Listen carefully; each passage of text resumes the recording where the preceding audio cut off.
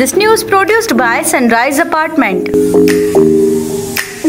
नगर परिषद के मतदार सूची में फर्जी नामों को कम किया जाए और फर्जी निवास प्रमाण पत्र देकर फर्जी मतदाता दर्ज कराने वाले और फर्जी प्रमाण पत्र देने वाले नगर सेवकों को अयोग्य घोषित किया जाए और कड़ी कार्रवाई की जाए, ऐसी मांग शिवसेना शहर प्रमुख जैकी रावलानी ने संभागायुक्त और कलेक्टर को निवेदन दिया है।